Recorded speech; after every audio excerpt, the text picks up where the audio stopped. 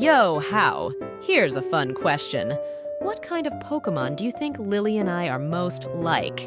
And for the extra challenge, you can't say a fairy type for me. Let's see. Well, going off vibes. Selene, I'd say you're a lot like Exeggutor. Like Exeggutor, you might have been born in Kanto. But your mama came from Alola, and when she took you back home, well, puberty kinda hit you like a full-force Z move. Just like how Exeggutor grows into its true, most powerful form. Your Alolan blood must have really liked being here. Now, Lillie, you on the other hand, let's say Araquanid. Hear me out here. You're really sweet and caring to everyone around you. You protected Nebby back when we were kids, and you care about Selene a lot now.